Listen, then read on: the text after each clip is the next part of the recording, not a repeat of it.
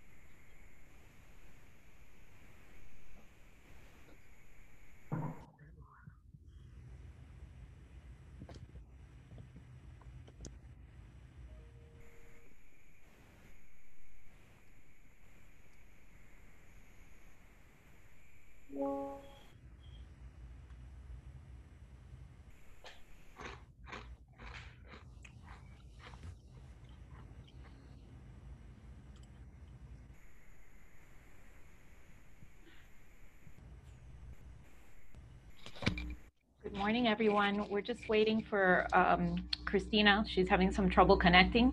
So just give us two minutes and, and we'll get started. Okay? Thank you.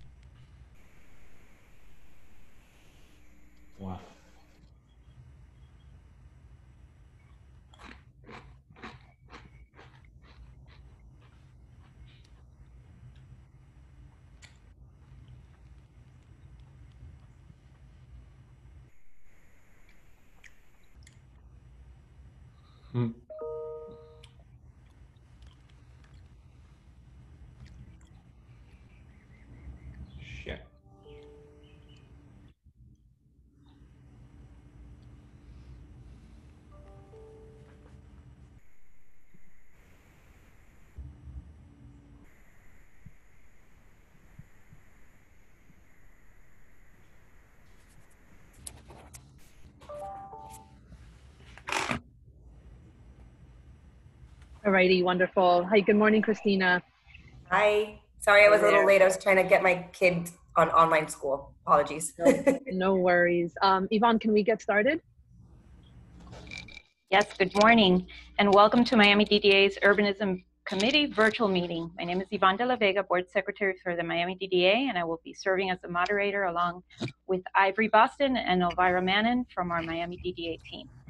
Some important information before we begin. Uh, Board and committee members are reminded not to communicate with other board members via chat, message, or phone, as as it is a violation of the Florida Sunshine Law. All conversation is to happen within this meeting that is being recorded. We encourage board and committee members and all participants to use the chat feature for any questions and or comments you may have during the discussion. Board and committee members, Miami DDA Executive Director, City of Miami Deputy Attorney, and our presenters will be on video with the microphones open. Please note that if you mute yourself, you may need to request that the meeting host reopen the microphone via, via chat.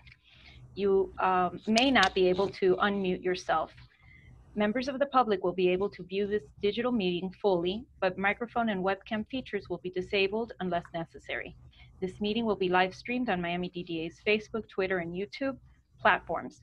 Members of the public may pre-record their questions or comments by dialing 305-379-6570, or you may send your questions and comments via email to at delavega, D-E-L-A, V as in Victor, E-G-A, at miamidda.com. Public comments received via email or phone message will be read during the meeting and will become part of the public record. There will be a public comments section after each discussion item where questions received via chat, email, or phone message will be read and appropriate parties will have the opportunity to respond. The chat button is located at the bottom center of the Zoom screen. Closed captioning has also been made available for this meeting. To activate closed captioning, please press the CC button located at the bottom of the Zoom screen to the right of the share screen and record button. Members of the public who are dialing in will not be able to use the chat feature, but you may also email or record your comments at 305 379 6570. Please remember your phone will be muted for the duration of the meeting. And with that, Urbanism Committee Chairwoman Marta Viciedo, the floor is yours so that we can begin with roll call and and then the public comments received. Great. Thank you so much. Good morning, everyone. Um, I want to just give a quick thank you to Yvonne and Ivory and Elvira and everybody at the DDA staff, and of course, uh, Christina. Um, managing these meetings is not an easy feat, and I think uh, you know they've done an amazing job. This is now, um, I believe, the third Zoom meeting uh, the DDA has had, and so I just want to give a shout out to thank you uh, and thank you for for shifting so quickly. Um, so if we could go very quickly through roll call, Marta Viciedo, board member. Gary Ressler, board member. Eileen Higgins, board member. Barnaby Min, City Attorney's Office. Spencer, I think I heard you in there. I saw you in there somewhere. Are you online? Yes, Hey, yeah. he's on. Okay. Spencer and Franklin Hi, also. Nice to see you. Performance. I'm here. Good morning. Good morning. morning. Franklin Sherman's board members on. Great. And Christina Crespi, Executive Director, Miami DDA. Um, Marta, before we start, and we have a list of uh, everyone who's on, um, so we can either read the list uh, and, and maybe easier to take a roll call so everybody's not talking over each other, or uh, we could just, you know, write them down. So, Barbie, Okay, I don't know if we actually need to recite everybody who's on here. Um, and then we also have one question that was received via email, if you want to Okay. uh, Yes, Okay. please. and this is from uh, Joy Don Prevor. Um, she says, just before this craziness, I joined you at the last DDA urbanism meeting and shared my co- concern regarding the development. that- Sorry, sorry. Um, I have to leave the room for this discussion. Just, um, I have a feeling I know where it's going. Um, it's a quasi judicial matter for the county. And so, I don't know, will someone just call me when you're done with this? And I'm going to mute this conversation. I'm not allowed to hear any information that isn't held in a um, public forum where the folks presenting the information are sworn in because it's going to be coming before the zoning um, board at the county. So someone text me when you're ready for me to come back, please. Thanks. Thank you. Okay. Mhm. Um, Okay, I joined you at the last DDA urbanism meeting and shared my concern regarding the development that would use Southside Park for staging, parking, and eventually retail concessions. At the time, Commissioner Reyes assured me that there had been a mistake and the issue would be revisited. I also stressed that this is an issue that I believe the DDA needs to take on and ensure the residents' needs are met. In the interim, it appears that the agreement was executed by the city manager without commission approval or proper public notice. Even when the February 24th resolution was advertised, the title did not convey the significant portions of the agreement transferring public land to private developer and allowing use closure of the park. Would you please update me on what has transpired? Uh, is that it? Okay. Good morning. And Joy, thank you for your comments. Um, unfortunately, what you know is what we know. Um, the, the item has been problematic. And as you know, when we had this conversation um, at the last meeting when you presented, uh, we expected a different outcome, but it moved through a, a process that um, we just simply were not aware and it caught us as uh, by surprise now, understanding that this, the location that we're talking about in, in particular is not technically within the DDA boundary, but it serves um, a number of residents uh, that, that are DDA residents and they live within the, the boundary, it is of utmost concern to us. And so I will, let me, let me let Christina chime in in case she has any other updates that would help. Um, but we are, we do find it uh, a problem. And so we would like to uh, you know perhaps find a way to put some sort of resolution forward to help bring this back in th- through more appropriate channels but let me let me let christina chime in real quick and we'll revisit this in a sec Hi, how's everybody doing? Good morning. Um, thank you, Martha. Same kind of feedback. I haven't gotten um, much um, answers out of the city based on Joy's email yesterday on on the park. I don't know, Barnaby, if you want to uh, chime in as well. Uh, it seems to be a real estate um, and asset management issue, um, and so absolutely, if the committee wants to propose a resolution to address it, um, it's appropriate. I've talked to the chair about that. They're fine with it. Um, it's just dealing with the COVID 19 crisis things like this, for instance, have kind of um, taken a back burner, but I do think it's an important issue that we need to, um, you know, raise and address. And so if that's the will of the committee to, to offer a resolution to do so, um, I'm supportive of that. Have we seen the project as a whole and understood it?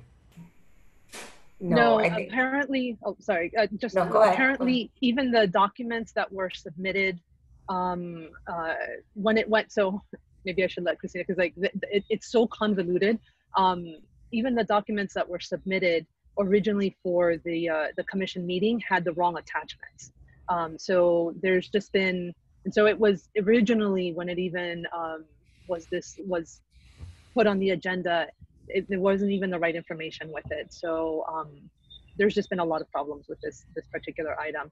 So I think what I can do is uh, is make a motion, um, uh, not make a motion, but just uh, put it out there like that we could do a resolution um, that basically asks the city to re to re-review this item, to bring it back to the city and and and have a review. Um, so let's let's uh, it, can we have some discussion around that? Madam Chairman. Hi, Chair- this is Spencer. Real quick, sorry. Um, I, I just feel like I, I, don't know anything about this project. It hasn't been pre- presented to us by staff. Um, I, I- I just I, I think it, if we're going to take a position on this, we should have our staff uh, make a presentation to us, fill us in, and so we know exactly what it is we're voting on. And I don't know, given the situation where there's a lot of misinformation coming around, I, I, I just, I, I don't think I can vote on a resolution right now without having this prepared by our staff, presented to us, so I can make a decision based on the merits. Understood. Christina, is do, how do you feel about um, so, so the it's not- information that's missing? Yeah, so the project is not technically in our district, it's in the park, but it is a park that services our residents. And yes, Spencer, you're right. I mean, um, we haven't even gotten a presentation. Like Martha mentioned, the backup in the item when it went to the city, I guess now what, two to three months ago. And Elena, if you're on the call, please feel free to chime in. Um, had the wrong backup. Uh, apparently, it's been signed. I think. I mean, Barnaby. I, I don't even know if that's accurate or not. Um, Yes, But- Madam Chairwoman, I was gonna, I was gonna add that the agreement has been executed, so, you know, assuming you want to put this off to a future meeting, I can get a copy of the agreement to forward to all the committee members. Um, the other potential suggestion, and it's obviously up to the committee, is we could arrange for the city to come and make a presentation to the committee. Um, we could also reach out to the developer, who I believe is represented by Melissa Tapanes, um, to have them come and make a presentation as well. And I also and, uh, think we, I mean, not, we don't need to discuss this now. I agree with Spencer. I, you know, I I've heard a lot about the project. I've uh, I've been re- actually the developer has reached out to me to share their presentation to give give me a better understanding of it. It's you know because of COVID, which is I assume the reason everything has sort of fallen off the through, through the cracks. Um, I haven't had the opportunity to have that meeting. Um, and I, I do want to say I want to put a pin in the fact that we need to start having a discussion about being behind the eight ball on all these issues again, whether it's this or the kiosks. The fact that things are going and passing city commission without the DDA being even advised about it is concerning.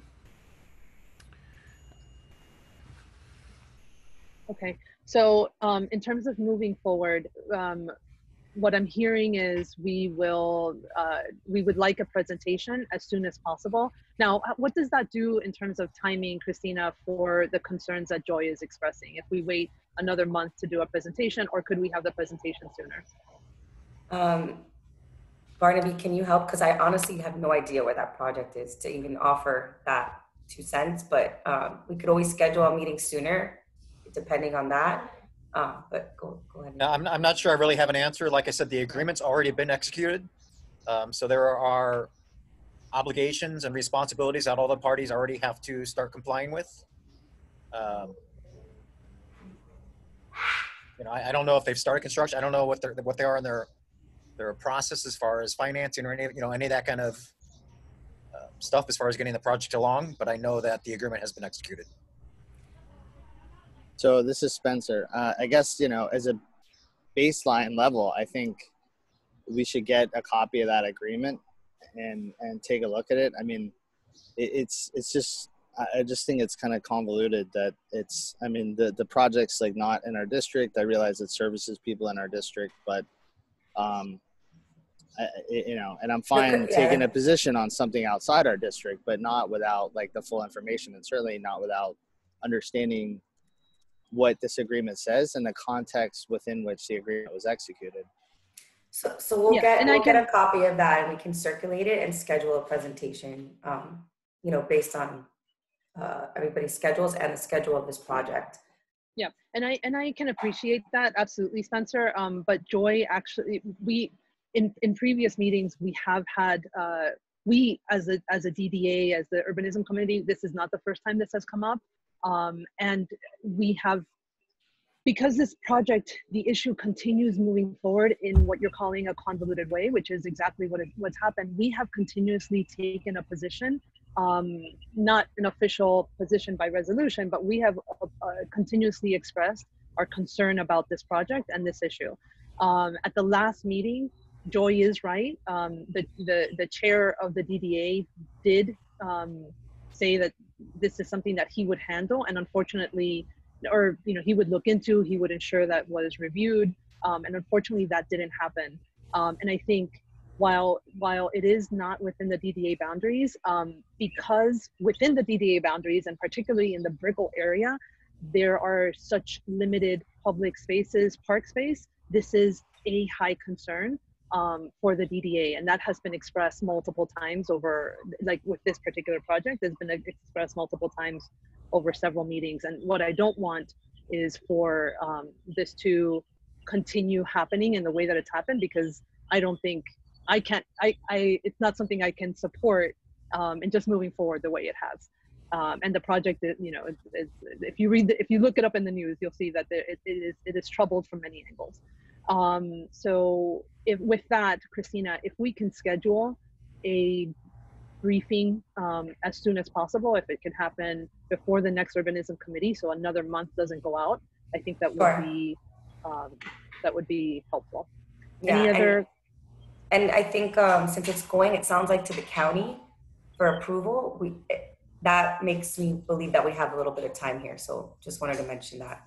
I would also add, just for transparency, Madam Chairwoman, it's my understanding that there's actually a pending lawsuit between the current developer and the previous developer for Yes. the same project. So that may potentially hold up everything as well. Yes, yes, that's a, that's what I was trying to allude to. but yes, it, it- there, there, there, yes. Um, but thank you, Barnaby, and um, and with that, if there aren't any other comments, um, can we call Commissioner Higgins back onto the meeting and and move forward? Sure, I'll go ahead and do that um, Thank while you. you move the agenda forward. I, I just Okay, sent her a wonderful. text. Thank you. All right, so the next thing that we wanted to discuss, which is a hot topic um, on our on our full DDA board meeting um, on Friday, is sort of a group of items um, that together represent some mobility uh, interests that we have in the DDA. So I'm going to turn over the floor to Neil, but we're going to talk about um, both the downtown bike network plan and some discussion um, updates on where we're seeing the possibility of temporary lane closures within the DDA district. So Neil, if you could take it from here. Thank you so much, Marta. Uh, good morning to the board. Um, I'm going to really quickly share my screen and I'm going to try and go through the downtown bike network, uh, the county project. I'll do it briefly. And if anyone has any questions, please stop me. Uh, so let's see. Okay, here we are. So um, just for a point of reference and clarification, the downtown bike network, um, as proposed by the county, is about two and a half miles. Um, if you can see right here, Northeast First Avenue is going north. It goes from Southeast First Street all the way up to Northeast 11th Street, which will get us to the eventual underdeck I-395 Signature Bridge open space. And then um, returning back on North Miami Ave, going south, all the way from, again, Northeast 11th Terrace, or Northwest 11th Terrace, sorry, to Southeast 2nd Street. And then they have the east-west connecting streets, 5th Street going east and 6th Street going west. Uh, this project is about $2 million anticipated budget. 1 million of that is coming from the county. Another million of that is coming from District 2, uh, Commissioner Russell's uh, scooter pilot program. Uh, the county shared with us about, I think it was a week or two ago, their updated design plans. Uh, since then, their county's own construction division and procurement department requested additional specs, uh, quantities, details, general notes, and MOT plans. Uh, Julian from the county expects have, to have all that wrapped up by the first or second week in May.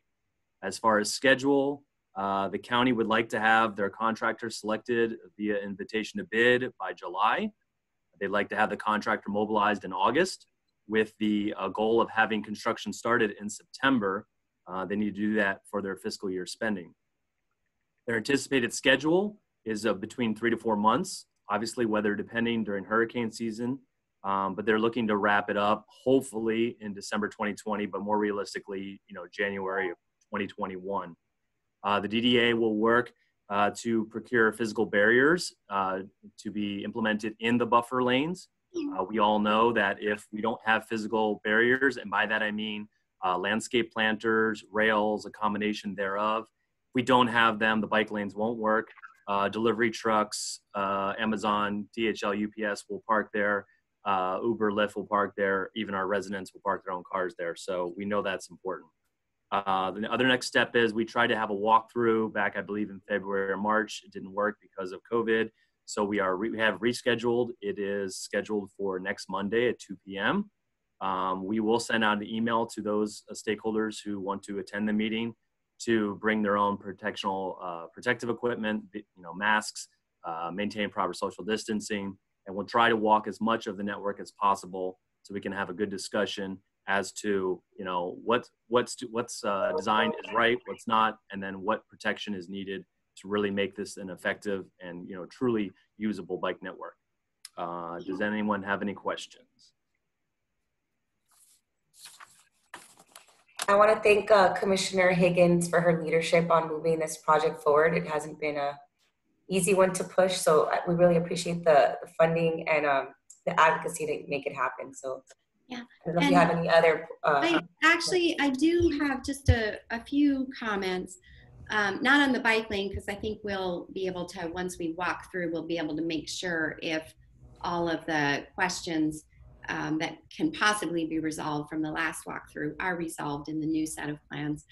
But um, we also have um, some funding to do sidewalk repairs on First Avenue, which is part of the bike um, you know, the, the bike network that would go down to Fort Dallas Park. And so Nancy and I and DTPW and Parks walked First Avenue all the way from kind of where it dead ends at the river up to uh, this project would go pretty much to uh, Wolfson campus for sidewalk repairs and also um, some beautification. They might be able to put in a few extra trees. That street is just chock a block with, you know, FPL underground uh, stuff. So you might think there isn't a tree there, but when we look under there, there's a big utility box. So they're looking also at perhaps, um, you know, what can be done that might not be a tree. So hopefully, not hopefully, we have to make sure these, you know, these two little pots of money come together. So it might be that that part of the lower part of the bike network on First Avenue becomes both a better bike experience and a better pedestrian experience. That's wonderful. Um, I know that Carlos Cruz Casas is also on uh, in the meeting. Is there anything, Carlos, that you would like to update us with or share? All right, looks like maybe no. Okay. Um, all right, wonderful. um, okay, so Neil, can we talk a little bit about the uh, the temporary lane closures? Absolutely. Let me get this up here. Okay, again, for anyone who isn't aware, um, you know, over over a month ago with the stay-at-home quarantine with city and county parks uh, being closed, obviously they're starting to phase them out and reopen them. But you know, there was the issue brought up, thankfully, by uh, Gary as far as you know, we have all these people who are trying to get outside, maintain healthy, but also maintain proper social distancing, and now they're crowded on sidewalks. Um, and if ever there was a good time to temporarily close lanes to allow for bike and pedestrian access and do it in a safe manner, this would be the time. So if I can scroll in a little bit, um, this was the downtown bike network map that was uh, part of uh, a meeting that was held here at the DDA um, with some of the stakeholders. And so when we look at some of these routes, um, especially falling back on the resolution that was passed at the board last week to look at what it will take to open up some of the vehicular lanes temporarily to pedestrian and bike access. The low hanging fruit, um, as you can see on this map, or actually from past experience, is actually with FDOT, just because they do have an experience, uh, experience um, especially on Biscayne Boulevard, with closing down um, four lanes of traffic, um, closing down an entire northbound lanes, and then rerouting traffic uh, to the southbound lanes, and, and, and you know, uh, making it work that way. Um, I've spoken to quite a few different people. Uh, Ray Martinez, the Ultra, Frankie Ruiz, Miami Marathon, Jose Solano from Bayfront Park. They all use the same company, All American Barricades, and they put out not only the barriers, uh, north and south ingress and egress. Uh, they also do all the MOT plans. They pull the FDOT permits. So they are preparing quotes for us on how to do that on Biscayne Boulevard and looking also at Brickell. But there's also east-west connectors as well. So when we get down to Brickell, if I can get this thing to work, here we go. Um, you know, there's Southeast 13th Street, Coral Way. There's uh, 7th and 8th Street going east and west that would connect, you know, towards Brickell City Center. Um, obviously, it's a little bit more difficult. They don't have quite as much room, whereas Biscayne Boulevard ha- obviously has a lot more room and capacity to do so. But to get people east and west and north and south would be, you know, the best way to do it, and also to connect to the Venetian, because as the county has been sharing with us, the Venetian's getting heavily overcrowded as well. Um, we do need to follow up with Public Works uh, at the city to see what it will take to do it, um, you know, on the city streets, especially Southeast First, Northeast First, and Flagler. Um, and then I spoke with Julian from the county as well, since we're already going to be doing these permanent bike lanes on Northeast First and South Miami Ave, what it would take to close them off one lane temporarily. Um, at least it's a good way to test the, the, streets and give people an appetizer of what's to come. Um, we, I've also spoken to many different advocacy groups. They are all in support of this. uh, whether it's Miami-Dade Trail Alliance, Rails to Trails, Transit Alliance, the Underline, Dade Heritage Trust. I was just speaking to uh, Fritz in the Flagler bid. Everyone's on board for this to happen. They were all willing to help as far as communications, advocacy, outreach. Uh, we just need to have a plan uh, in place for what it's going to cost from FDOT and uh, All American Barricades to do this, or what it's going to take for city and county public works. Um, so I will, as soon as I have more information, I will uh, share it with the entire board. Um, and I guess what I heard at the last board meeting is we really need to focus on a specific ask of what streets. Um, so I'll, I'll open it up and, then to the board for discussion on that. Hey, Neil, it's Franklin. Um, question. What is the philosophy of, on those proposed lanes that end right at the slip going up the Biscayne? Yeah, the connection there. I, th- I Yeah, think is it plus because 395? right as uh, Biscayne uh, Boulevard, and this is the whole kind of uh, thought process behind Biscayne Green is that you have for an eight block period you have eight lanes, and then it pinches back down to six lanes. It's not to say Right. it could not continue a bike lane, but it just becomes a little bit more difficult to remove lanes permanently for uh, bike infrastructure. Of course, it's obviously very needed to get people all the way to the Venetian or MacArthur. Yeah. Um, but it's, I think that's just where the pinch point happens after 8th Street. Thank you. I'd like to um, just thank Gary real quickly for uh, for advocating for this and bringing bringing it up um, uh, numerous times. And so I just want to give a shout out because this is really important. Um, and there are so many cities that have taken steps to do this across the world and across the country. Um, and I think you know th- there, there's really no reason not to. Um, so I just want to thank Gary for his advocacy and, and Commissioner Higgins for the support. Um, and, and if there's curious if there's any further comments. Hi, Marta. This is Spencer. I have a comment. For it. Go for it. Um, this is great, and I and I and I like it as well. Um, I, I think one thing we need to make sure of is that the planning staff of the city is fully aware of this and um, conveying these networks to um, developers who are coming in for entitlements.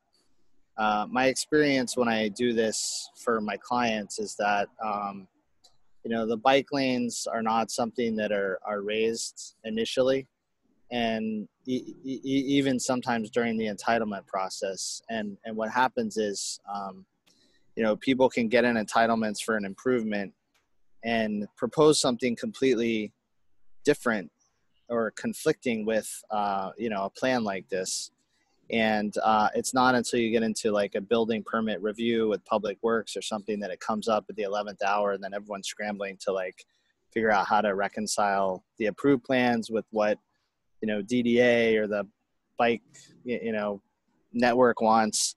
And so um, i know i know you've done a lot of outreach in terms of like getting people to buy into this particular plan but um, i think it's really important for those in the regulated community, like developers, uh, to be able to understand that this is something that has to be done and they have to design around and in some cases you know perhaps pay for or supplement not not in this particular case but maybe in other cases as we're trying to connect this whole network. Um, so that that's just some important follow-up i would suggest that you guys make sure to do Yeah, if I'm not mistaken, this is actually a county plan and will become codified if if I'm not mistaken. So it'll be part of the street plans when you pull when you go to design. But- right but but but gary like when, when i take an entitlement to the city nobody at the city knows or cares about what the county plan says and they don't they don't even review it or, or much less you know look at it and, and so you know it, it it's one of the most common issues i have to deal with uh, for my clients is reconciling um, two different requirements one from the city and one from the county.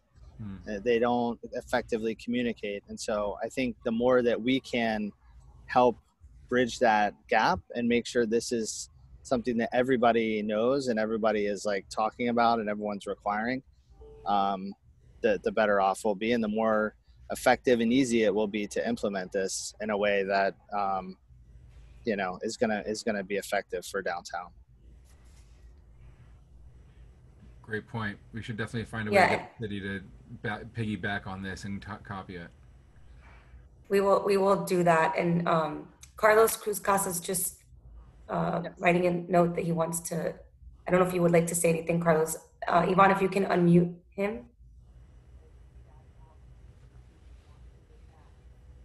Actually, before before Carlos um, chimes in, can we read a couple of the comments um, that were made before because I think he might want to address those, if that's possible, Yvonne. unmute myself. Okay. Uh, so we have a question from Colin Worth, and he says, "Is there any opportunity to get the federal buildings to move the Jersey barriers out of the roadway on Northeast First Avenue, North Miami Avenue, North Fifth Street, and North Third Street?" So uh, can you guys hear me? Yes. Excellent.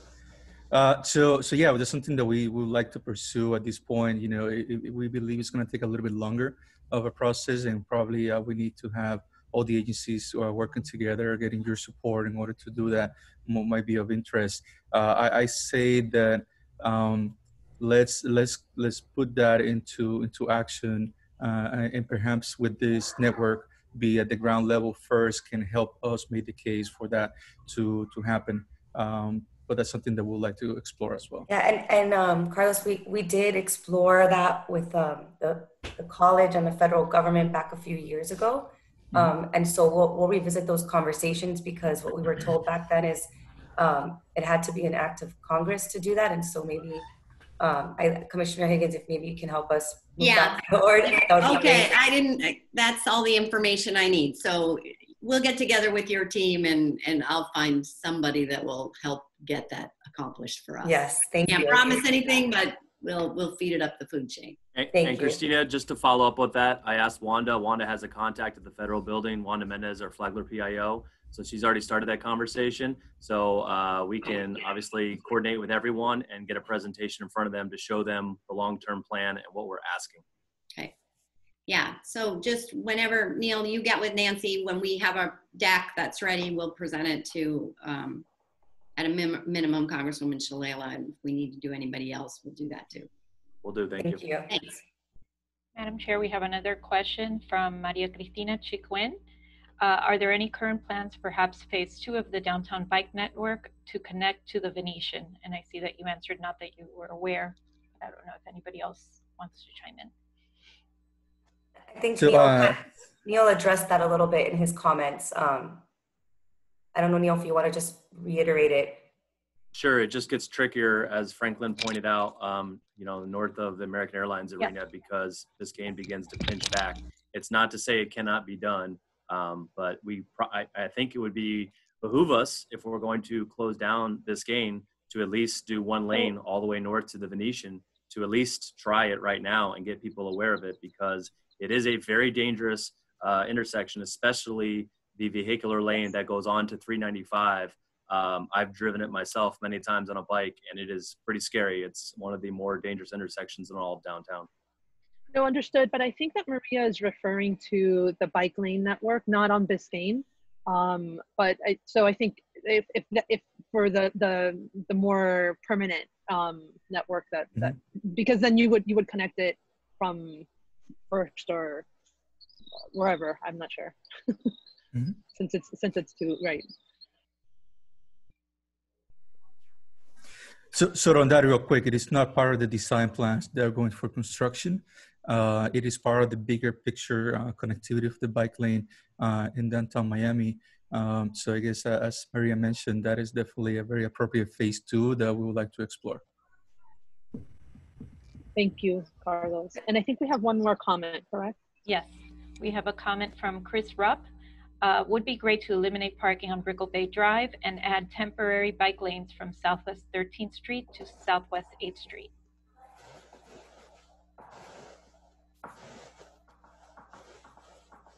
And I, I, Okay. Um, I don't know, I was gonna say, it. we can't see the map, Neil. I don't know if that's, that's part of the plan. Um, Let me bring it back up. and th- and this is this is on not this is now for the temporary lane closures, correct? Can we can we segregate the I two know- conversations? Yes. yeah, those are two different, It's yeah. Yeah, yeah, yeah. I, I think it's it's all lumping into one. Um, uh, I believe Christine is talking about the temporary lane closures, and Ne- and I know Neil did mention 13th Street. So if you just want to touch on that one one second, Neil. Share my screen again, see if I can find it. Right. So this was the, this is the map. Again, this was the proposed, uh, not the, uh, county project. Um, but yes, 13th is not shown, but it could be a very good connector. Uh, it is proposed that Brickell Bay Drive would be, uh, at some point a permanent, uh, connector. Chris Rupp, do you know if the on-street parking is uh, owned by the MPA along there? Assuming so, but we Yeah. can, we can, Let's Oh, assume yes for a we'll, second. we'll, uh, we'll Yeah. assume yes. Um, we can definitely explore it for sure. Okay. Can you scroll All up to the CBD? Because I, I don't think we got a copy of this map. Can you scroll up to the? it was included in the package, right, yesterday? I don't know. I can't find it. And, and actually, um, just for, you know, history purposes, this was done through a, a partnership with the, the city, the county, and stakeholders back, I guess, what now, over a year ago, right, Neil? Um, Yeah. And we presented it to the committee, it was a while ago, but we wanted to just remind everybody um, of the plan, of, of the recommendations, have input, and also, um, based on the resolution that was passed on the, by the board on Friday, kind of tie it in together in the areas that make sense um, and get recommendations now just to to be on the same Right. page. So let me make a couple recommendations then. Um, uh, Neil, I think the actual low-hanging fruit is Flagler Street, which FDOT we don't need FDOT input. That's owned by the city of Miami. Yeah, Uh, and thank you, thank you for mentioning that, Gary. Um, and I'll let you finish, and then I'll chime in on that one. Go ahead. Uh, North River Drive uh, is a good option. Um, obviously, Biscayne Boulevard. Uh, there's an opportunity, I think, to look at a um, a loop that goes uh, across uh, Southeast First Street between Second and Third, and then Third Avenue between First and Flagler. I mean, I can send you this de- de- detail a little bit more to to to for you to look at. That'd be great. Those are definitely two recommendations. I know that I I- I'd really like to see this get buttoned up so we can start pushing on the this resolution. Okay, yeah. Fritz was just mentioning that to me this morning, but if you could send those details, that'd be great.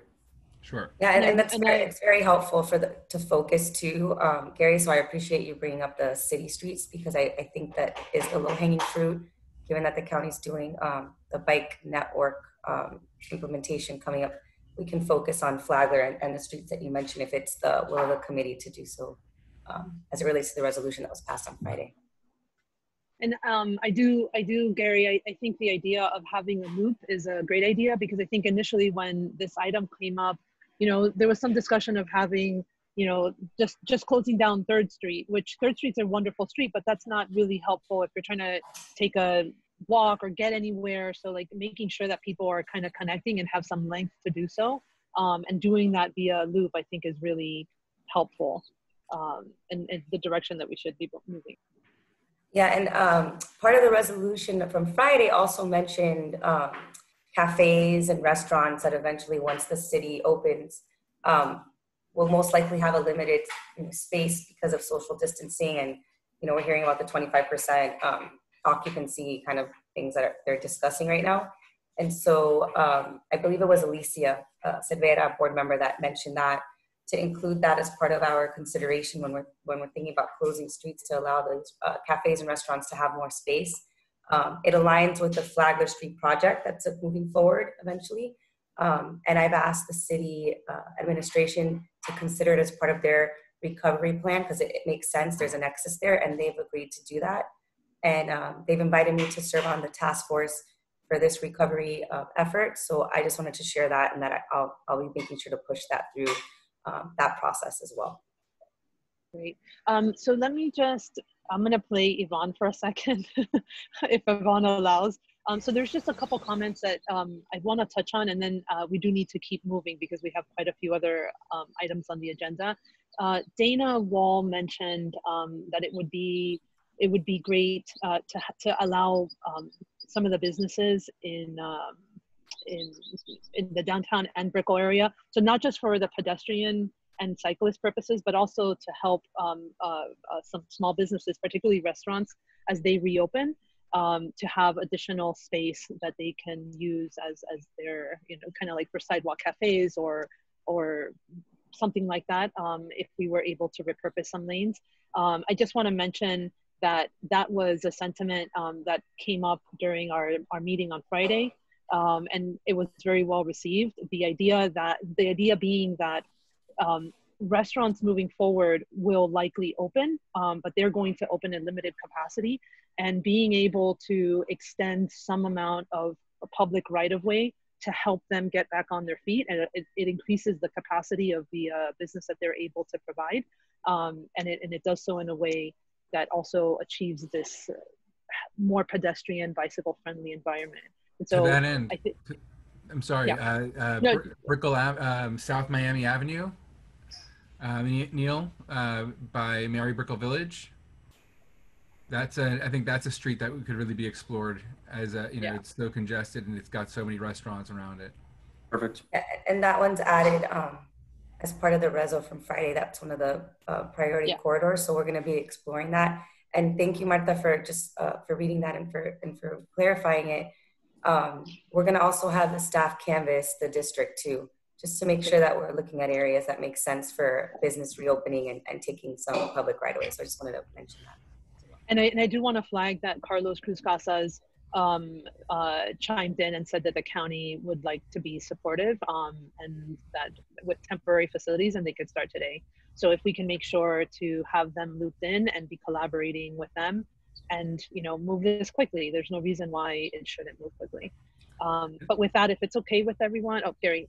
Um, No, no, sorry, just on the state side, I know that we have the support of uh, Senator Pizzo and Representative Fernandez at least. So we've got a great team. Um, you're right. Should should happen quickly. Thank you. Um, just also, it's interesting to sort of watch what the governor's, whether you agree with him opening this, you know, on Monday or not. Um, he is being more flexible in other parts of the state about outdoor seating in restaurants and and the city of Miami is is obviously and importantly being being very cautious in the reopening. But if we could get some of these uh, sidewalks and get a lane that would possibly on a street that has a lot of restaurants, I'm thinking Southeast First, right, is is one that could really help them um, possibly uh, figure out how they can social distance and create some space that is outside rather than inside. And if we could resolve that in the next month, that may or may not. I mean, I'm not I'm not going to dictate the timeline for the city of Miami. That's obviously um, their commission's job, but um, but that would get us ahead of the restaurant opening and and provide that flexibility that the city of Miami might be able to include in their reopening instructions. Great. Alrighty. Um, okay, so if we can move on, um, let's go ahead. Actually, let's because it's getting close to 10 o'clock um, and there's still a couple of items. Can we jump over to a resolution that we need to uh, vote on very quickly, and then we can um, jump right back to the kiosk presentation. Um, so the resolution that the resolution that we have uh, in front of us here um, is actually something that had come up uh, I want to say months ago, um, and it and it had to do with Biscayne Green and a match that the DDA had committed to, but for just technical just reasons, um, I, I think it just never made the resolution never made it onto any agenda. So um, this is in retrospect. So the the the resolution is um, just is basically a match to support uh, the transportation project uh, for Biscayne Green. Christina, I don't know if you want to add any additional comment.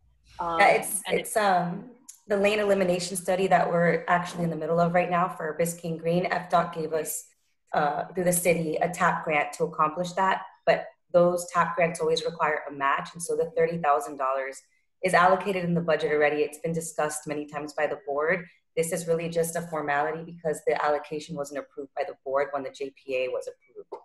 So it's a, it's a cleanup basically. Um, and so if you have any questions, happy to answer it, but um, that's what that reso is.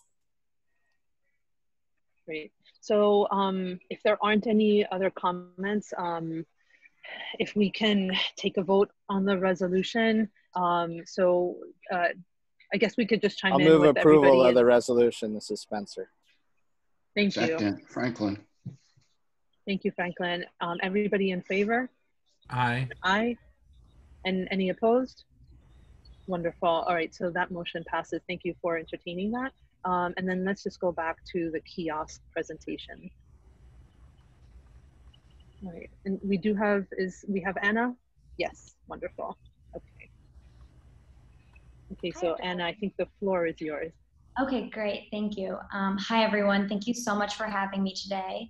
My name is Anna Behrman, um, and I am presenting on behalf of Ike Smart City um, about the interactive kiosks. So you may be familiar with the kiosks because they are installed in neighboring Coral Gables, but I do apologize that this is the first time um, that we are speaking, but I'm really glad that we were, are able to connect now. So last week, um, we received City Commission approval to install interactive kiosks throughout the public right-of-way um, and on city-owned property throughout the city of Miami. Um, and I was able to speak with Elena and Kim earlier this week, and they thought it would be helpful for us to, or for me to present to you guys um, and show you a short video kind of explaining the interface um, and the functionality, and then answer a few specifics to the city um, about the project and answer any questions that you guys have. So if it's okay, I'm gonna um, play a short video and then we can get into more details. So let me share my screen here. And I think I have it if, okay. Oh, if you have it, I- we can do it that way. That's okay. well. Let's just see if the audio works. Go ahead. Let me know if I need to stop. In the digital age, how do innovative cities connect with residents and visitors? Meet Ike, the interactive kiosk experience. Ike is a breakthrough citizen engagement platform that helps cities, business improvement districts, and destination marketing organizations communicate with the public, encourage a pedestrian oriented environment, and tell the story of their city. Ike launched in Denver with the goal of building a wayfinding and city communication system for the digital age and delivering it in a self sustaining business model, requiring no investment from the city. Today, we're scaling the platform nationwide. Designed in concert with Pentagram, Ike's sophisticated design complements the aesthetics of any city, incorporating local branding both on and off screen, offering kinetic lighting options, and allowing for customizable content. Ike is fully ADA compliant, adjusting the interface for users in wheelchairs and accommodating other special needs. The system is multilingual and available in any language at the push of a button. Ike is immediately familiar to any user of a smartphone. Simple touch gestures activate the system and provide everything a user needs, all in one curated place. Through our ever expanding series of applications, Ike delivers social equity, drives discovery, enables navigation to businesses and civic resources, encourages economic development, and enhances public safety. Ike improves connectivity and accessibility to underserved areas through free Wi Fi and increased cellular coverage, and provides access to civic resources, job opportunities, safe shelters, and other social services like food support and addiction recovery resources. Ike's wayfinding encourages city exploration with mapping to area destinations and real time transit feeds for bus, rail, streetcar, ferry, bike, and car share services. Functions as a visible two way communication platform for the immediate deployment of important information. Ike can quickly broadcast emergency messages and critical updates, and an optional emergency call system, high definition security cameras, and air quality monitor enhance public safety. Ike can provide anonymized data, including optional pedestrian counts, usage, and dwell times. Ike's customized content management system and sophisticated geolocation capability ensure that each Ike is optimized for its location and audience. With Ike, streets come alive. Define your city. connect with your citizens. This is Ike.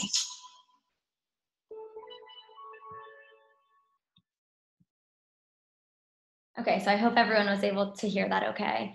Um, that does a better job of explaining what the kiosks look like and how they are, you know, able to be interacted with than I can. So I hope that was helpful. Um, one important piece of background information on this project is that we are actually partnered with First American Telecom. Um, the city actually asked us to join into a partnership with them because as many of you probably know, they have phone booths scattered throughout the city. Um, and they were hoping to, and I think that they presented uh, to the board their plans to actually convert some of those phone booths into interactive kiosks. And um, it made sense for there to be, you know, sort of a cohesive product throughout the city. And so they asked that we um, enter into an agreement to deploy our product, Ike, uh, together. So that's kind of just to close the loop on conversations that you might have um, had or heard about in the past. So the next steps here are really, you know, we, we received commission approval next week um, or last week. We are planning next week or in the following couple of weeks to have a sit down meeting with the city manager um, to talk in more detail about, you know, the permitting process and just deployment plans in general throughout the city. Um, we manufacture, install, maintain, um, and operate the kiosks at no cost to the city, and we're sharing a portion of that revenue back with the city. And the city is planning to distribute a portion of the revenue that they receive, not only to the general fund, but also to selected organizations, including the DDA. Um, and that will be prorated based on how many, uh, or proportionate to how many kiosks are installed within each organization's boundaries. Um, and so we would be working closely with your with DDA um, on siting and which locations make sense. And the initial phase of locations um, that we are you know going to propose will be actually swapping existing phone booths for this more um, advanced technology. So, you know, it won't be cluttering the sidewalk in a way that it'll be replacing an existing um, infrastructure that already exists. And we will, of course, um, you know, with working with you, uh, make sure to consider all of our normal um, siting guidelines such as ADA compliancy and adequate path of travel in the right of way. And that will be, you know, we'll work with the civil engineer to make sure that every site is technically feasible um, for install before installing a kiosk and submitting for permit. Um, the last thing I want to mention before you know I open up for questions is the content opportunities for the DDA. So um, I know that in the, there's been a relationship in the past with First American Telecom where, and, and I heard about the, the recent COVID-19 ad that was provided by the DDA that was posted on um, the static, the static screens on the telephone booths. And I just wanted to mention that um, those same types of content opportunities are also available with Ike. So one of the eight slides in the ad loop um, are dedicated to the city for content. And this we'll have to work with the city to see how they want to allocate that um, content. But my expectation would be that they would be open to uh, allowing the DDA to use that space within on the kiosks within the DDA's boundaries. And so, um, you know, we can put any type of messaging that is you know necessary on, on those kiosks in that one ad ad loop slot. Um, I know there was also discussions about um, when they were they were talking about uh, converting some of the phone booths into the kiosk product. You know, doing some fun things with kinetic lighting, like making the um, kiosk you know shine pink during Breast Cancer Awareness Month. And I just wanted to mention that that's also an opportunity on our kiosks. We have a kinetic lighting strip at the bottom of the kiosk. Um, it can change colors for games, events, um, you know, anything that you wish. And every single kiosk, because we have built our software in-house, every kiosk is geo-aware. It'll be pulling in all of the local businesses in the area automatically into the kiosk, um, into each kiosk. Everyone will look different because the um, listings are sorted based on proximity to that kiosk location. And we are always willing to talk about adjusting the content if things aren't look you know if hours are incorrect for a restaurant and they're um, you know we're always willing to kind of work through those changes together and so i will be um, along with my colleague uh, keisha garrett who's not on the call today uh, the account managers for the city of Miami. And so any questions, follow up questions can come to me, and I'll be more than happy to um, answer them and help you guys with whatever you need as we work through this together. I have, I have one um, quick question. Um, thank you so much, Anna, for the presentation um, and, and for uh, working with us moving forward on this project. Um, it was brought up at the board meeting, I believe, um, you know, touchscreen uh, kiosks right now may, may be an issue because of the COVID-19 um, pandemic. And so is there a voice activation option for these? Um, just wanted to mention that. That's a great question. So there's a few things that we're doing during uh, this pandemic. We understand that it's a, it's a very strange time, and we don't want to make anyone feel uncomfortable. And so, the first thing to note is that we are contractually obligated, and you know we will clean the kiosks with a disinfecting solution seven days a week, and that's during this pandem- pandemic, and you know every single day after that we're under this this contract.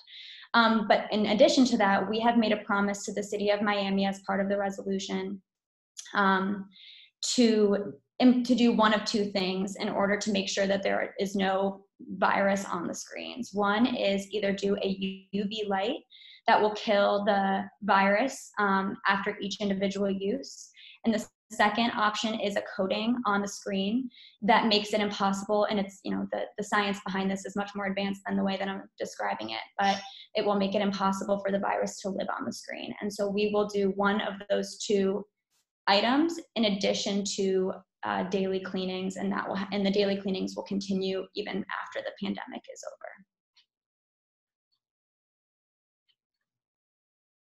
Great, thank you. Do we have any other questions uh, for Anna? Hi, Yeah, this is I have to- Spencer. Go ahead, Spencer. Thanks, Gary. Um, is there is there a map showing the locations of these kiosks at this point? Um, and if not, can we see a map once it's developed before these are implemented? Absolutely. So I actually I I had a call with um, Elena and Kim earlier this week, and I sent them a preliminary phase one map, which is based only on the fat phone booth locations. So our first locations um, that we would consider will be these swaps um, of existing phone booths, and so I can distribute that to the group, or Elena and Kim can distribute that to the group and I mentioned to them that we can work to, you know, I want you guys to review them, make sure you feel good about them, give us feedback. We can talk about, you know, additional locations. Um, and so that's as far as we've gotten, you know, the, the, I think there's probably about 20 locate 20 to 25 locations on the map that I sent, and that would be just the first, you know, phase. Um, but as you know, time goes on, I want this to be an ongoing feedback loop where we're not deploying a kiosk that you guys don't know about that you guys didn't talk we didn't talk about. And and this is something that you know in every city that we're in where we have a process like this. And so i feel confident that we will be able to select locations that you know we all feel feel good about and that makes sense for um, the dda And so, um, thank you, Spencer, for bringing that up. We did, I, I shared that preliminary map um, in my board update a few days back. Um, but that being said, Anna and, and the company is committed to working with us moving forward. So I've asked the staff to canvass the district um, to recommend locations That's to, to the company. Um, and so we'll be working on that and we'll present that, these preliminary locations um, to the board. And I guess hopefully by, by this next board meeting, um, that way the board can chime in, but also working really closely with the company moving forward. So I just wanted to mention that. So thank you. Let's be sure we also have um, property owner um, approval. If you're going to put these in front of somebody's property, let's make sure we're talking to the building owner. Nothing's worse than having something pop up all of a sudden, unexpected. Um, I have some questions about the unit, and if, if real quick, who manages the content? So we manage all of the content. We actually have, um, so both on the advertising side and on um, the sort of uh, um, the actual like content, the city specific content side. So um, we have one portion of our business is actually um, advertising sales, and so we have a um, advertising sales team that you know works with national ad agencies all throughout the country, and, and we will be manage, managing that whole process. Um, there are restrictions on the things that we are allowed to advertise on the kiosk per our agreement with the city and also per the amendments to Chapter 54 of the City Code. And so we will, of course, be complying with um, all of those uh, restrictions. And then the actual city content, so, you know, locations, um, you know, restaurants and um, businesses and social services locations, we use a proprietary algorithm um, and software to pull all of that data automatically into the kiosk. And so, actually, all we do in our content management system is plug in a latitude and longitude, and all of that auto populates into the kiosk. However, um, we also will be working with you guys to make sure that, um, you know, if any changes need made, we can um, adjust that content through our content management system. And we will also um, we also grant our city partners credentials to actually log into that if, if they prefer to make adjustments themselves. But um, it is a fully turnkey solution where um, there's really nothing required from the city to manage any of that content. We kind of do it all in house. Will these have an emergency phone on them? They will. So there is an emergency call button um, on the side of the kiosk that once you push it, it will um, create two-way communication between the user and the dispatcher, um, as well as security cameras um, above the emergency call button and at the top of each kiosk to sort of capture the scene around it um, if there is an emergency incident. Um, are there charging stations on these? I've seen some in other cities that have charging stations. We do not do charging stations because it creates, um, it, it, can sometimes cause loitering and people to sort of uh, post up outside of the kiosk, and that kind of prevents other people from being able to take advantage of the functionality. And so, and it also sometimes um, encourages vandalism. And right. so, we have decided to not have that functionality on our kiosks. And then my last question is what, what percentage of the content that's displayed is advertising? So when the kiosk is not in use, it's going through a loop of eight slides. Um, and we have dedicated one of those ad slides plus any remnant unsold space, which in the first couple of years, as we're ramping up, there might be um, more unsold space than later uh, later on in the contract. So that is what. So the one space is dedicated to the um, the city, and then once the kiosk is in use, that ad loop actually resizes to the top uh, third of the screen, and all the content underneath that top third of the screen um, is non-advertising, non-sponsored city content. Um, so it depends on if it's in interactive mode or in passive mode. Great, thank you. Of course. I have, I have one question. Um, what about Wi-Fi capability? Does it have Wi-Fi capability?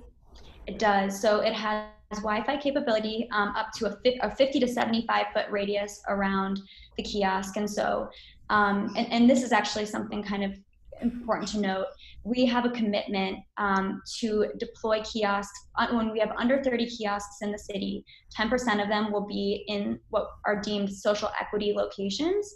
Um, so to make sure that there's an equitable dis- distribution throughout the city. And then once we are over 50 kiosks, that actually jumps up to 20% of the kiosk locations will be in equitable social equity locations. And so the free Wi-Fi is really, really great in, in you know, especially on those social equity sites because we can provide um, connectivity to, you know, people that might not have it otherwise.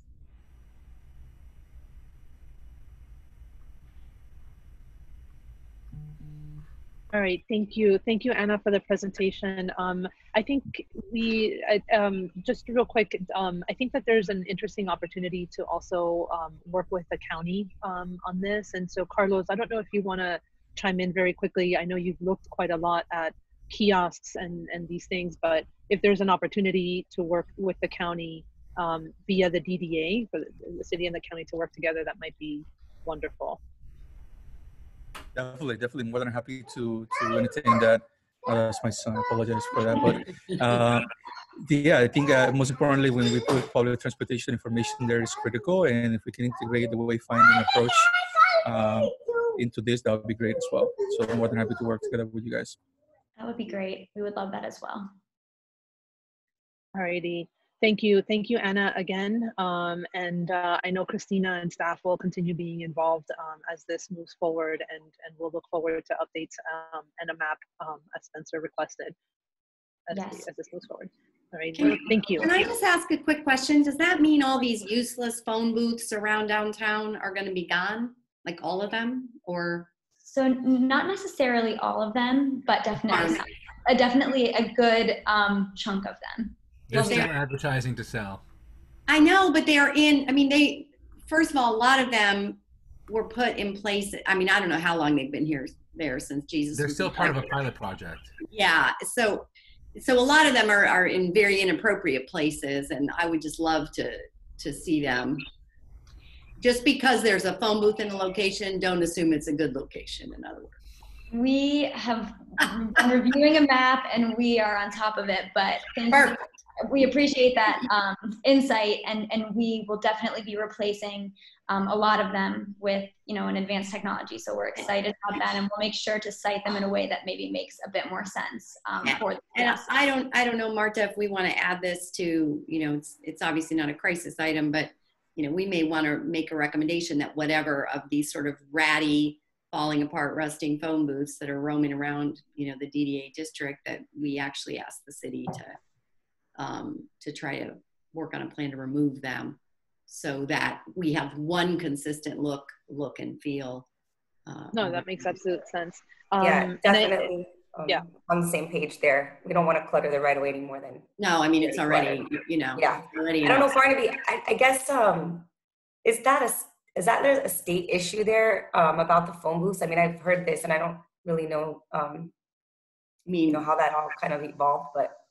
There I are don't some know. preemption issues. Um, there is an agreement that the city has. There's a city code issue. Um, as Gary said, this is a pilot program that's been around for about 20 years. I Um, wasn't joking. There are uh, a number of moving parts. Um, I know when this um, kiosk project first came to the city, there was discussions about removing some of the phone booths, but there was um, some pushback on that. Um, so there's there's a number of moving parts, but I can certainly work with you to follow up with the city. Yeah, thank you. And I think um, with Anna's partnership in the company, we all agree that we don't want more clutter in the right of way. So appreciate Body that. strong. yeah absolutely um yeah maybe even if it can be a, some sort of a trade right? Like okay we want to put it here for, for each one. So okay um great great. So let's talk real quick about the pit stop program. I know that jennifer has some updates for us um and then after that we'll talk about the the dog spot and we should be done. So we'll try to wrap up by 10 30 so jennifer if you're ready. Can you guys hear me? well, yes. Yes. Good morning, everyone. Good I'm going to try to share my screen to see if we can get uh, the graph up. Can you guys see that? Jennifer, if not, I have them. Okay. Is it coming up or no? No. Okay, hold on.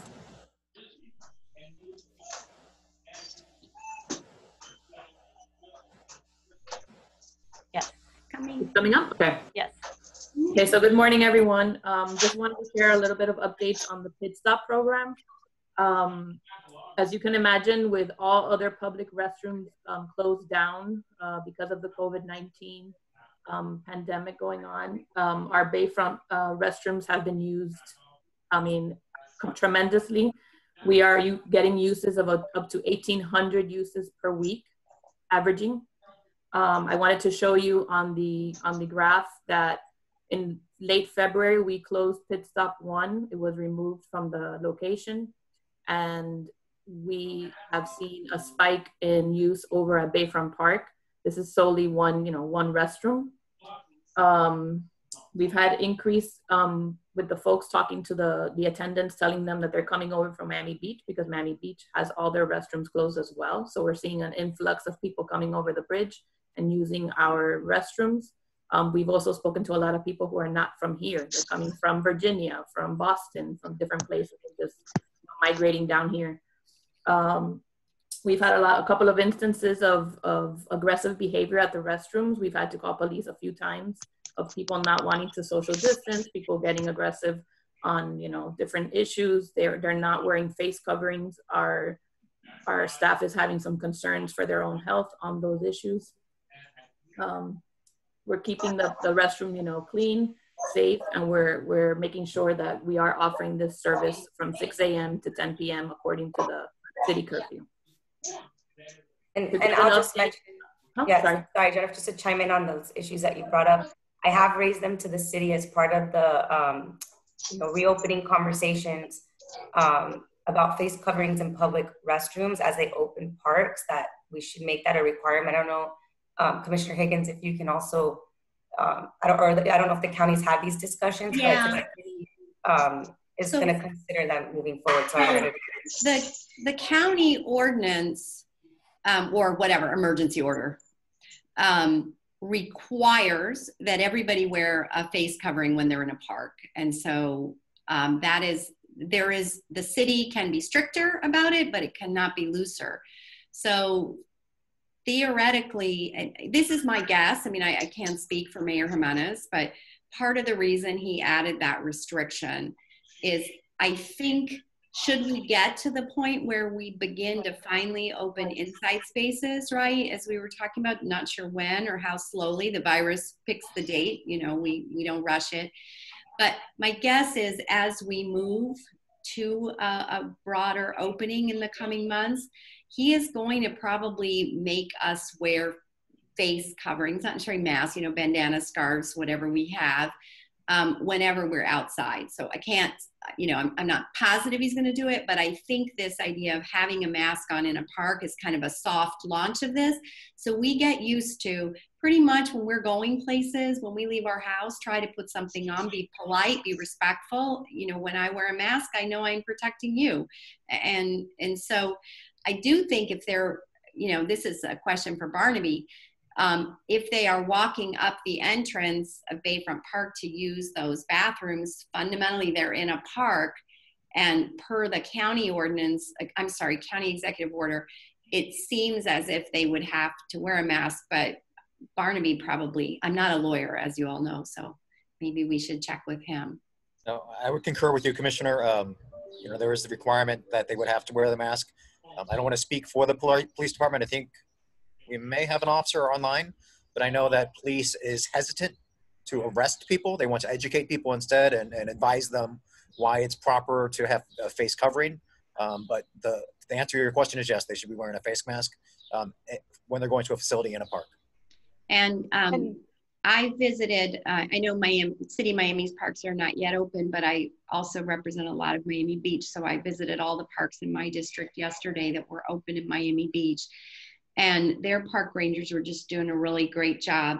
Probably, I'm, you know, I'm guessing here, but 60 to 70% of the people I saw were wearing face masks. And, and then the park ranger would just ride up on his bike and go, Welcome back to the parks. We're so glad to have you here and see you outside. But it's a requirement that you wear a mask when you're in your parks. Do you have one with you? Would you mind putting it on? And I bet you eight out of 10 people I saw him do that to had a mask in their pocket. So slowly but surely, we're getting to the point where we're realizing this is going to become part of our, I hate to call it new normal, I call it the new abnormal, but um, it did not seem, I mean, I realize there's always people that are aggressive and crazy about I refuse to wear a mask. Um, but in general, a little polite nudge went a long way um, and I also realized when you're dealing with the homeless population, there, you know, it's it's harder. It's a harder issue. But theoretically, if they're now in your park, they should have a mask Okay. Um, agreed. We just, like you said, we're dealing with some persons experiencing the homelessness, and I think the accessibility to the mask is where the real issue comes in. It's not so much they don't want to wear it; it's that they don't have access to them. Yeah. And, and so just to chime in, the city did distribute 5,000 masks, I believe, um, to homeless individuals, and they're discussing um, like a next wave of this. Um, so I just wanted to put that out there, and uh, we're following up on all of that. And then the city commission is going to have a discussion around homelessness in general at the, um, during a special meeting that'll be scheduled, I guess, probably in the next coming weeks, based on the meeting um, yesterday or the day before. Now I'm mixing my days, but I just wanted to mention that that that will be part of that discussion. And then to give a quick update on the expansion, we have um, confirmed with the city that the vendor has provided an update from the manufacturers they're ordering the, the trailers from. The trailers should be available in between three to four weeks once they receive the purchase order from the city. The city is simply waiting for the budget um, office to allocate those funds within their line items or however they do that. Once they do that, the city can uh, do the purchase order and send it to the vendor. Once the vendor does that, like I said, three to four weeks. So we're looking at um, maybe a month from now having those uh, expansions out there. Great. Wonderful. Thank you so much, uh, Jennifer, and thank you for staying on top of this. And and a big thank you to your team um, who has been on the front lines and on the street. So every once in a while, I go over.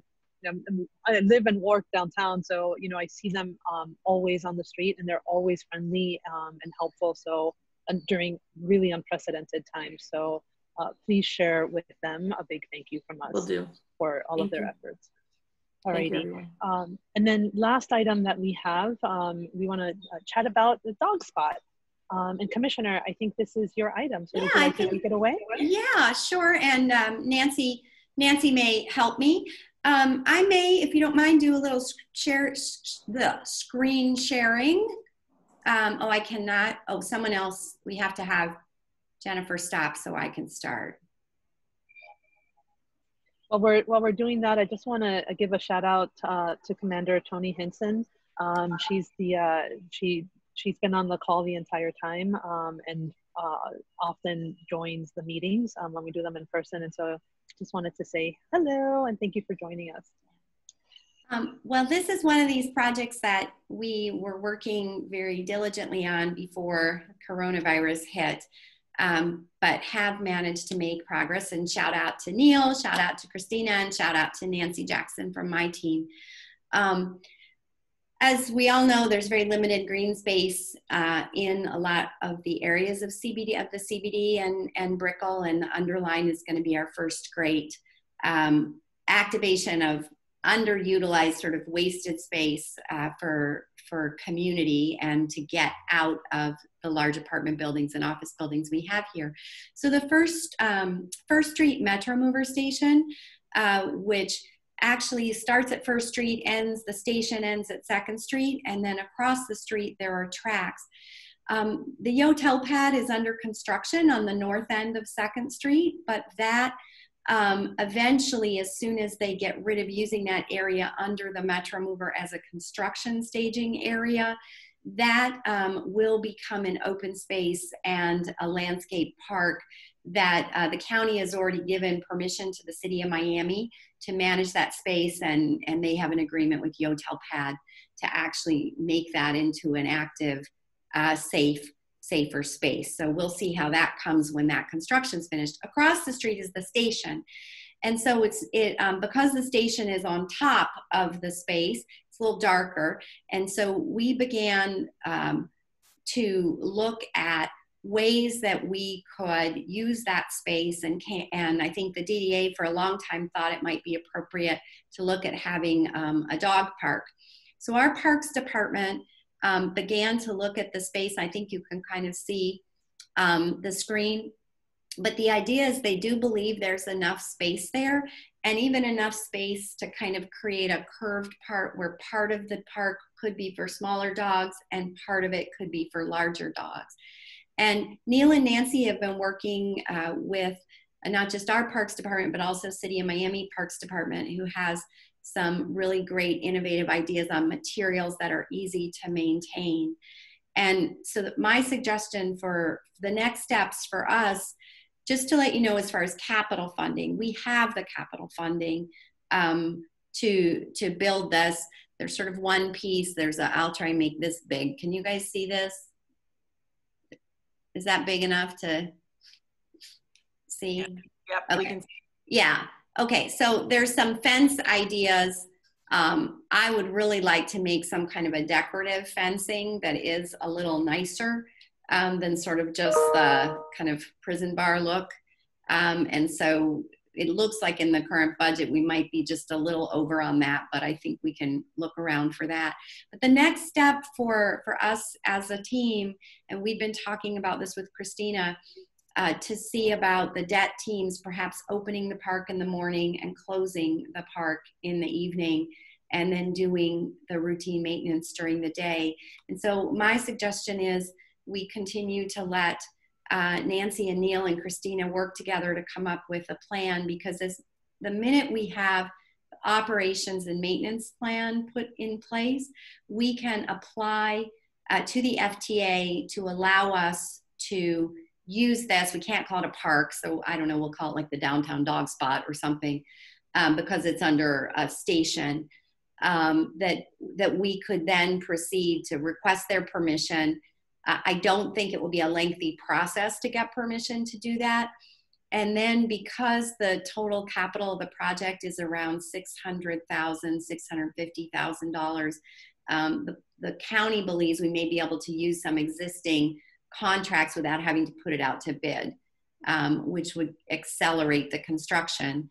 Um, and so I realize we're you know dog parks are are probably until you know until we have a vaccine probably on the low end of places that'll open but if we could get it built uh, this is something we just don't have anywhere in the cbd and it just takes a derelict space and makes it activated um, and we, we will need, you know, lighting and security. We want to lock it at night. But I don't know, Nancy, Neil, you guys have any other thoughts to add? You've been, I'm taking all the, I'm the one doing all the talking, but they're the ones doing all the work. So I want to make sure that they're recognized. Right. I just, I, I, oh, sorry. Go ahead, Nancy. Oh, I just wanted to say, yeah, what we're trying to do now, because parks is kind of on emergency operations with food distributions, our county parks we need their help to finalize the design but in the meantime i feel like there's a lot of work we can do on getting the operations and maintenance plan nailed down and getting some budget figures. And then um, neil has been great about um, connecting with other partners that could help um, even make it better. We know that eventually we're going to have some kind of private uh, public partnership to keep the park um, going in the long term. We have a ton of buy-in from neighbors. They're so anxious to be involved. And of course, that's our job, I believe. D5's job is to engage the neighbors. The neighbors right adjacent, of course, do have concerns. They're going to be brought along and incorporated their concerns. Um, so I think that part is going to be exciting. And I just feel like it's a natural fit for um, the DDA and us to be doing this together. Um, and I, as, as soon as we can get the FTA process going, I, will feel a lot better. I, I feel like that's been a bit of a stumbling block finishing up. So I, I think that's where we're really um, looking for some help from you guys. And and so just so I'm clear, do they need something formally in writing to um, to consider this as far as like our commitment to maintain it? So there's a couple things. Um, first, like budget allocation from the DDA. I know that $100,000 was put in this fiscal year's budget to help move this along. But moving forward, if it's going to be a recurring cost, it's something that we probably need to discuss through the budget process, which is going to happen now in a couple weeks. Um, and so we're trying to hone down on a number of what that what that is. Um, Nancy's been trying to help with that, and Neil as well. So that's one, and then two. What do you need from us um, if we're going to be moving forward on on maintaining it? Um, you know, it, is it a a JPA, and interlocal? I, I mean, the mechanism. My, my guess is there, there, it would probably be something like that, so we can show the FTA that we have a commitment. We've got the money for the capital, build it out, and we have we have a joint commitment to maintain and operate um, and keep you know keep it clean. And for the folks that live right, I mean, we know before we locked it off, um, you know, we did, you know, we had some security concerns there, and that's why I think a dog park is a great idea because it's in this neighborhood it's going to be busy all the time. It's going to be constantly active versus a passive space under there. But i do think we're probably going to have to come up with some operating hours of when it's open and when it's closed.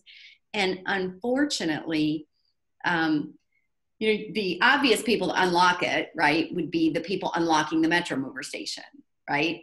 But that is forbidden by the fta the transit related money because we used federal funding to build that transit we we can't use those folks to be doing non transit related things so i happen to think it's a silly rule but it's a rule so so if we if, if with everyone's agreement we'll just have the team march forward and eventually prepare something, I don't know, Marta, for the board, or you want to come back to urbanism? It's up to you.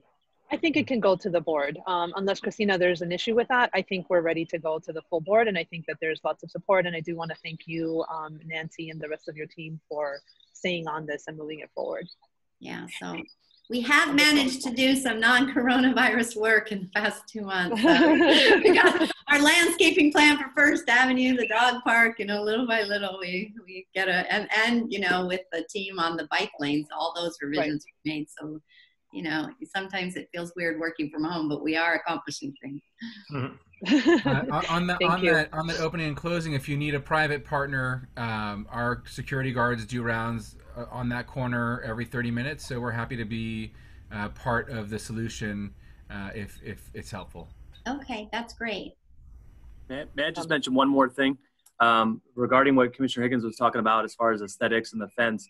Uh, Nancy and I had uh, quite a few conversations before the whole pandemic broke out of um, getting coordinated and involving with Miami-Dade College. Uh, the Idea Center, which is run by Romy Batia, they have a they do a semester long project with their students in collaboration with Moonlighter Makerspace and Tom Pupo, um, where they take a real life project, get the students activated, involved in it.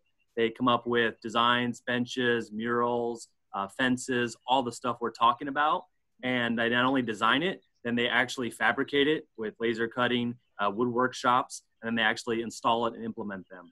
So I would love to get them involved in this because this is a perfect project right around the corner from the actual Mm-hmm. school, and we could have students doing at no cost some Mhm. amazing, incredible, you know, design work. So we could really bring this dog park alive. Yeah. Sounds like that's a great idea. Last but not least, you know, we we might want to um, do some commemoration for Francois in a little way in there too, because if the if the DDA is going to continue helping maintain this, it could be a a real tribute to you know our ambassadors and our debt team are on the streets every day making downtown a better place for everybody to live in and so that might be a nice way to you know commemorate I love that. him Thank you. Yes. Thank you for that. Great idea. Commissioner Higgins. Really nice. And because you know he it's i mean a street naming is something but every people drive down our streets that aren't from downtown but anybody that uses that will have encountered an ambassador who's helped them out in some way or another um, in the past couple of years so That's a great idea. Um, alrighty. Um, so okay, so there are there is at least one other comment that I know Yvonne needs to read. Um, um, before she does that, I just uh, I just want to say thank you to everybody that has joined us. Um, I do want to suggest everybody get outside because I see from what I can see, I think Spencer's the only other one from. It is so beautiful out. Oh my gosh, this is yes. amazing. Yeah. Yeah i couldn't i couldn't help myself i had to sit outside um, it's a Uh-huh. wonderful day um, and the I, I know that at least one of the comments that um, is coming commissioner is on the first item that we discussed that you had to step out so if you need to step out um, Yeah. please do so Can I, Marta, can I make a quick comment before Commissioner Higgins of leaves course, of about the, um, just want to, um, update everyone on the seawall issue.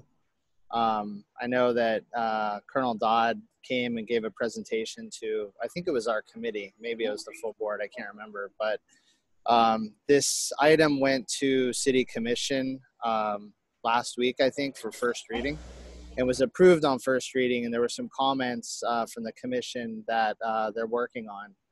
So um, it seems like it's moving forward, but um, you know the city staff is is trying to sort of address the comments that were brought up by the commission, which uh, revolved around uh, impact of this ordinance on private property owners and and residential property owners specifically. One one other item that's really important for the DDA is that um, you know back before I was on the board, the DDA engaged a planning firm uh, called Savino Miller to do a design plan for the Baywalk and also the shoreline. Uh, and and the idea was for that to be incorporated into the city code in Miami 21, so that uh, act- activities on the shoreline going forward would be required to comply with this new uh, design standard. Um, the way that this is proceeding right now at the city is is in somewhat of a bifurcated form. And so the ordinance that um, colonel dodd came and presented to us which just deals essentially with the seawall heights is proceeding. But the design package that is something that ddA is heavily invested in and i think wants to see through um, is is is not proceeding in that same path because it has to go to the PZAB. Um, and so I just want to make sure that we, as a committee, and certainly as the DDA board, are are aware of what's going on. And I've been tracking it, and and Neil is doing a great job as usual of of you know keeping everyone informed. And um, but I just want to make sure that. Uh, you know the, the the the the committee and, and the board don't lose sight of this because it's an important uh, initiative of the DDA, and certainly there's a lot of um, sunk costs that the DDA has into this plan, and I and I think it's a good plan, and it just needs to get um, codified and into a place where um, people are working towards implementing it. Yeah, and just also on the seawall issue, once the city of Miami works through it, we're going to have to make sure there's harmonization at the county level, even if the entire county doesn't want to do it. On the Miami River, it makes no sense that the part that's unincorporated has a different seawall regulations from the part that is incorporated in the city of Miami. And so um, we have to do it in the sunshine, I think, Spencer, but maybe we could yeah. um, work through that. And then also, I think some of you remember um, I started working this legislative session for the very first time to begin to get seawalls included in the PACE program so that private property owners would have a long-term easy financing mechanism if they wanted to repair or upgrade their seawalls and um, I mean, I'm fully aware that when you know when you introduce a new idea in Tallahassee, it's a two to three year process. So I just did the legwork this year for year one, not expecting it to pass, and but you know talked to quite a few people about it and um, plan on, on, doing that again next year. So we'll be i'll be working with chris on our, our legislative director to come up with the urging and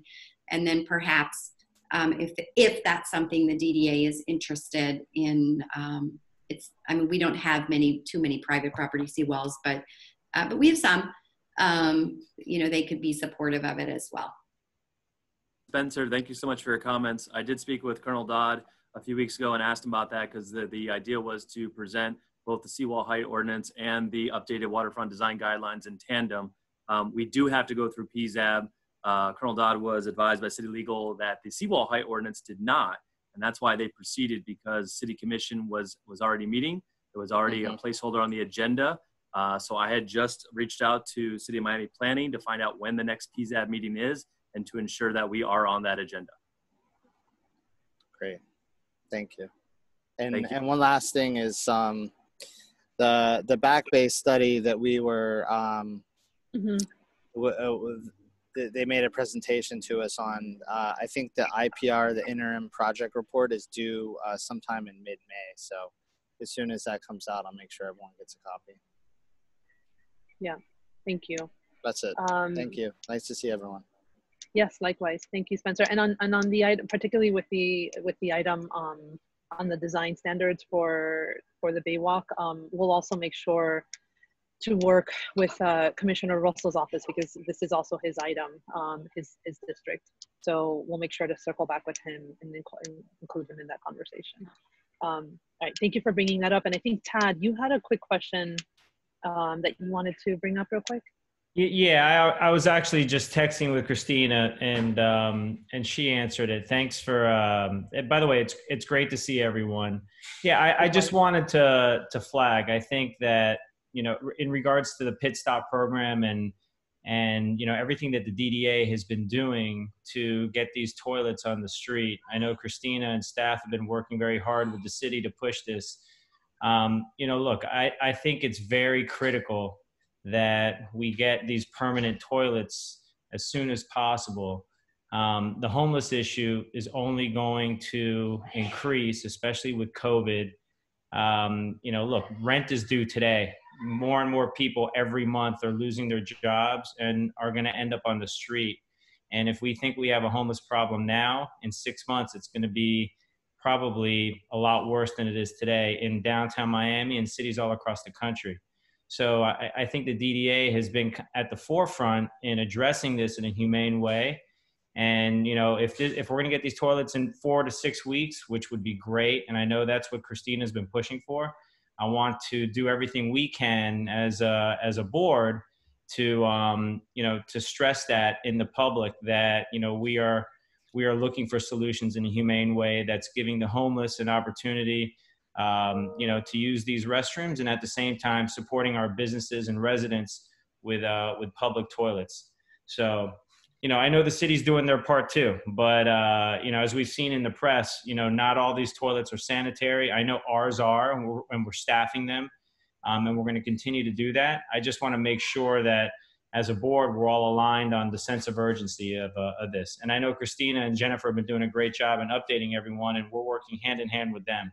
So I'm glad I'm glad Jennifer brought it up. Good. Yes, and th- thank you, Ted. Alrighty, um, so I think we have one other comment and that one will pertain to um, Yeah, the, the, um, the park.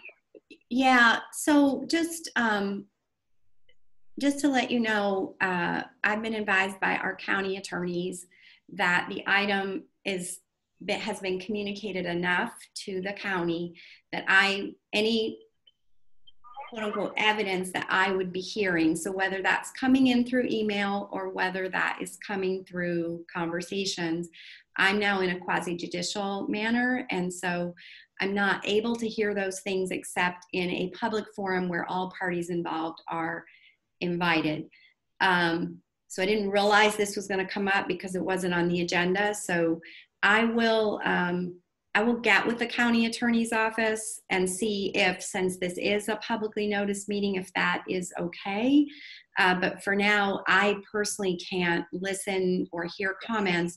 And so I realize this is a crucial, you know, it's going to be a very robust and crucial conversation for the, um, the CBD and, and for, for Brickell and beyond. But everyone should be prepared that they are going to have to make their comments at the county zoning. I do not know when that is going to be. I don't know if it's soon or later, but for me, it would be great if the I'll check with the county attorney's office to find out if I'm permitted. But since as of last week, I didn't ask this specific question, it made me nervous. I don't want to do anything illegal. Um, so uh, that's why I stepped out before. But I'll get clarity and I will let uh, Christina know because what we could do is put that item on the agenda and then I could join whatever meeting it is later or before or however that is. So I'm not trying to hurt anyone's feelings by not listening, but I also just don't want to violate any laws. So, um, so if you guys are done and, and you want to keep talking about that, I'll, I'll hop off the meeting and we'll be very um, clean cut. so. um, no, and, and we appreciate that, um, Commissioner, and um, and thank you for the update as well. I do want to let everybody know that this this entire meeting has been recorded.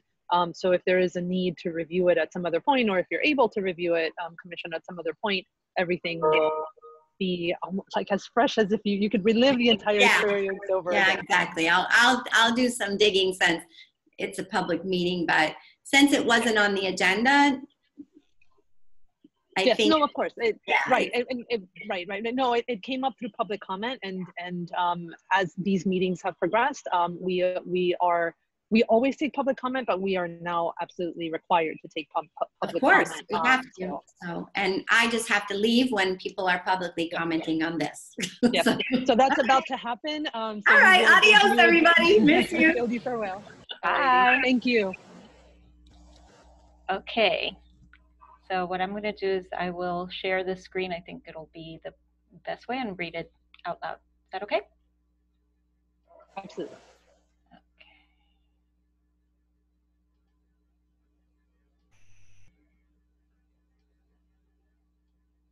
Okay. So good morning. My name is Christina Lessie. I live at 801 Brickell Key Boulevard, apartment 1004, Miami 331 33131. My question is regarding Southside Park.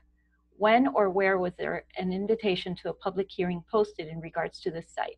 Pre-coronavirus, I visited this park nearly three times per week and never saw a public hearing poster. I would have been there with over 200 parents, just like we did a few years ago. I was able to attend last month's and this morning's virtual urbanization meeting and listen to the DDA's concerns regarding the development of the fire station located in Brickell. I understand the board members' concerns that it is not technically within the boundaries of the DDA. However, to further emphasize your position, it does serve many of its residents. I wanted to share with you a conversation that includes County Commissioner Xavier Suarez and at that time, City Commissioner Francis Suarez regarding that site back in 2017. This park has been used as has been used a political token site since the early 80s. Since the early 80s, Miami, I believe, First High School is located on this site. This site uh, was always intended for the community's use, not for pri- for private, which I will eventually happen here. This space would better be served to our community, especially the residents who live in the immediate area, in affordable housing should not be pushed further further out pushed out further west. Uh, West Brickell or Brickell does not need an additional luxury office, residential, or another hotel. My greatest hope is that the county and the DDA will strongly oppose this site and help reserve this space for our community for all to enjoy, not just the elite of Brickell. Thank you for your time and listening to my concerns. Be- below is a trail of emails regarding the fire station and Southside Park site. Thank you, Yvonne. Do you have any, do you have any, well, first, um, is, if, is, is anybody able to answer the specific question of, um, the public hearing uh, notice for the site? And I- and from, from our earlier conversations, I don't think that's the case, but I just want to open up if there is the ability to answer that question. Christina or Barnaby? Yeah, I was gonna say Barnaby. I, I will advise from the city, city of Miami's perspective, uh, the transaction was noticed a couple times. There was a previous, and when I say transaction, it's not a transaction, but the, um, the, the The item. proposed, the item with the, the, the developer um, a couple times. There was originally uh, an agreement that was approved by the commission, the city commission, perhaps three years ago or so. I'm going from memory, um, and that was at a publicly noticed meeting. Um, this item that we're now talking about came back to commission perhaps a month, two months ago, at a publicly noticed meeting uh, because it was determined that the previous agreement um, was not entered into with a valid organization, and so we're, the the city decided to enter into uh, the agreement with this current developer. Um, so both uh, meetings were at uh, publicly noticed meetings. Thank you, Barnaby. Yvonne, do you have any additional comments? No. Uh, Let Okay. me just check if anything has come in right now. And, and just to clarify, since we spoke about this at the beginning of the meeting, we'll work with the developer and the city to make a presentation, um, you know, as soon as possible, based on the timeline, um, with the county as well. Um, like Commissioner Higgins mentioned, she didn't know the date of that meeting, but we'll share that with the committee and schedule that accordingly so that we have time to discuss this in that forum. Great. Thank you. Okay. Um, so I think with that, we've come to the end of our agenda. Um, I do want to thank everybody from the public that has participated um, in all the various ways. I know that this is a little jarring and not without its technical difficulties, um, but but absolutely thank you. Franklin, I see you signing off. Um, thank you for joining us. Have a wonderful weekend. Um, this might be the very last day that we have this wonderful weather. So please, please do as Spencer and I have done and get outside, enjoy the weekend, and everybody stay safe, safe and healthy. And hello, Chloe. uh, hi, Chloe. Say hi. All right. Thank you. Um, all righty. Bye, Thank you, everyone. everyone. Thank you, Bye, Marta. everybody. Bye, Thank thank you. you so much. Have a great weekend. Stay safe. Bye bye. Thank you, everyone. Bye, Gary. You're getting cookies at this time, bro.